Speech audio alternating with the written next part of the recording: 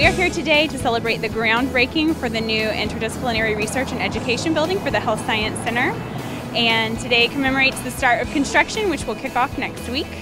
This building behind me is being designed to reflect the current values and priorities of the UNT Health Science Center and its recent history and its leadership and its vision. And I want to thank Senator Jane Nelson and Representative Charlie Geren for their personal leadership and then taking that message to their colleagues in the Texas House and the Senate, proving the bonds for this project. That's what makes it possible for us to be here today.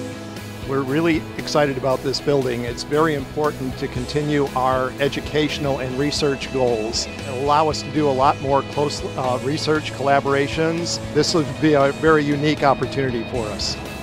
There's no doubt in my mind this building will house some new discoveries and some cures to some diseases, some medication safety issues, and other issues that are impacting healthcare today.